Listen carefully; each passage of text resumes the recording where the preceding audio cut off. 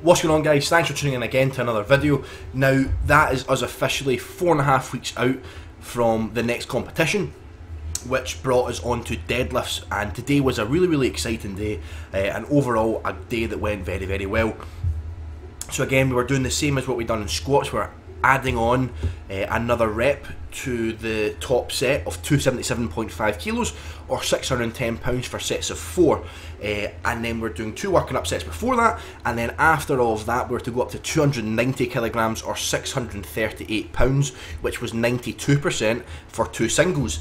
And um, it, was a really really good feeling actually because if you may or may not know at my last competition on the 19th of April my third attempt was 290 kilograms on deadlift. And I missed it. Uh, I missed it quite badly actually. Uh, I got the bar to my knees and uh, just could not complete the lift whatsoever. It was a very poor attempt and I missed 290 kilos badly.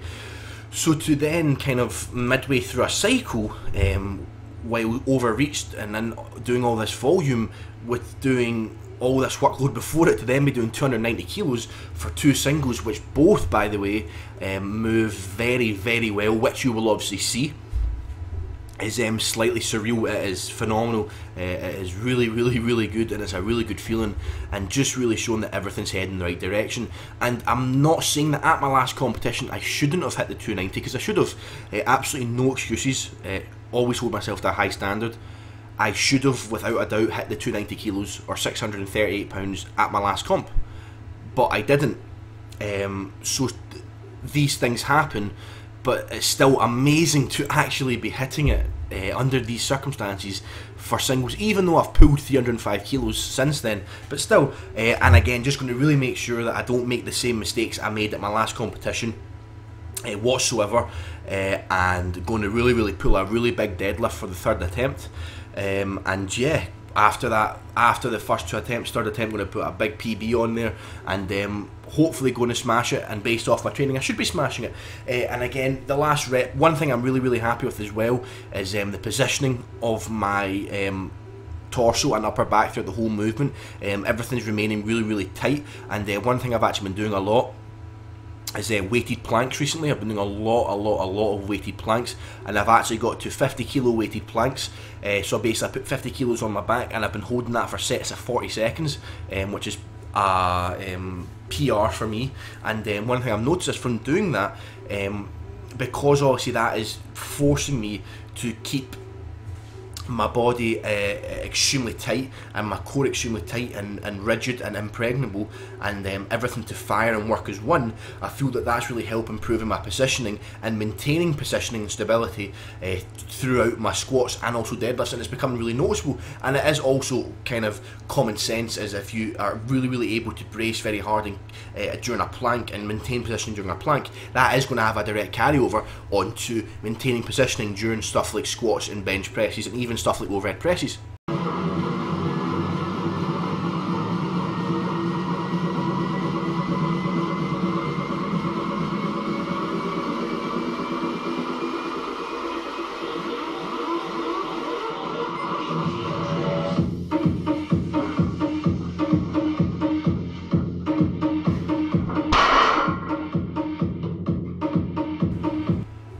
And then we finished off with some back work. I had five sets of eight of um, supinated bent over rows, and then had five sets of eight with single arm rows. Then done some face pulls, some side laterals, some biceps, and then finished off with the plank. Uh, so still keeping volume and all accessory work fairly high for the time being, but it definitely will start to taper down as we get closer to the competition.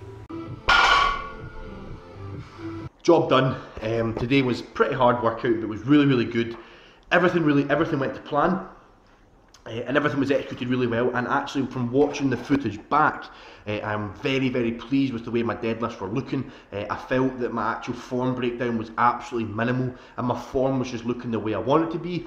And um, again I'm always trying to pick positioning over momentum. Um, unlike I used to, I used to do in the opposite always trying to focus on positioning and uh, just focusing on making a smooth lift um, because at the end of the day, as Mike Teixeira says, smooth is fast, smooth is fast, smooth is fast, and that's what I need to keep reminding myself. But overall, absolutely buzzing to think that at my last competition, the 19th of April, I actually failed a 290 deadlift to then be me doing it there under those conditions is awesome uh, and I'm really really happy with how today went and uh, yeah we've currently just got hopefully this doesn't steam up the thing I've got two pieces of salmon cooking in there uh, so I'm going to eat them up and then I'm going to go back into the garage and uh, I'm going to go on my inversion table probably sit on my inversion table for maybe 25 minutes, something like that, uh, and really, really working traction on my knees and my hips uh, and my, my spine as well, and uh, hopefully wake up feeling really, really good tomorrow. So I hope you enjoyed today's video, guys. Like, comment, subscribe, all that good stuff, and I'll speak to all of you guys next time.